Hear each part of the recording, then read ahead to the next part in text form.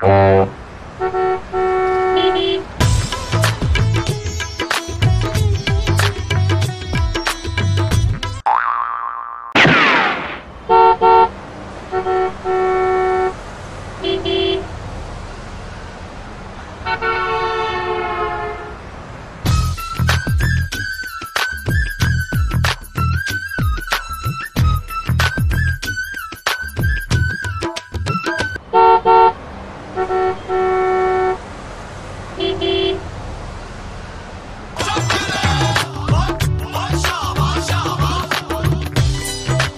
भाई जान है तो जहान है।